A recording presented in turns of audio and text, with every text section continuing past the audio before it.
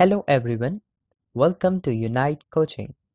Unite Coaching has started a new video series in which you will learn of estimation of full building in Microsoft Excel. In this video series, we will teach you full estimate of G plus 3 building in Microsoft Excel.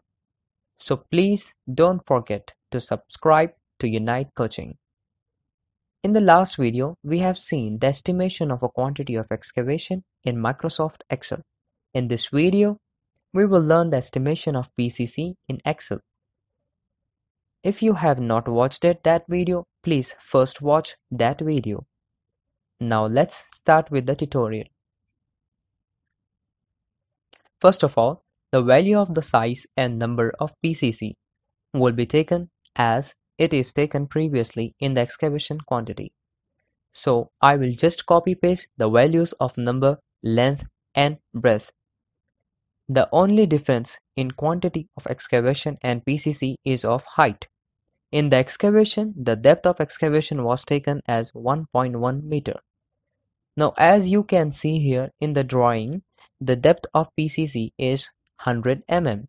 So I will put the values as 0.1 meter in the height column. As the height of PCC is same for all the footings, I will just drag the cursor. Now the quantities can be calculated similarly. We have calculated for excavation. Just multiply number, length, breadth and a height. So put the formula in Excel is equals to cell G 35 multiplied by cell H35 multiplied by cell I35 and J35 and that is number, length, width and height. Now to calculate other quantities, just drag the cursor. You will get the quantities of all groups of PCC.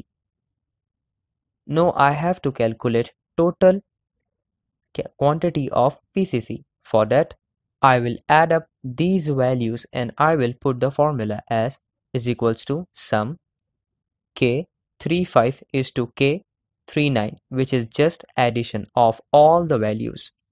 But this formula you will get the sum of quantities of all PCC groups. Now comes the rate analysis.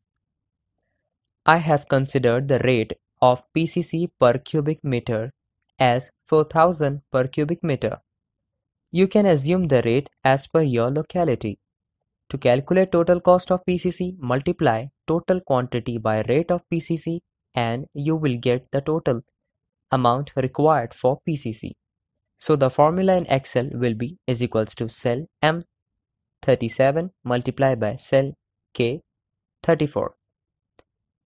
That is quantity multiplied by its rate.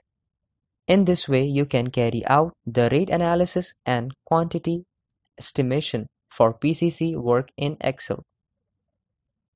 In the, in the next video, we will start with calculation of quantity of concrete work for the structural members such as footing, column, beam, etc. in Excel. If you have any query or doubt about this tutorial, you can ask in the comment section below. Thanks for watching this video. Please subscribe to Unite Coaching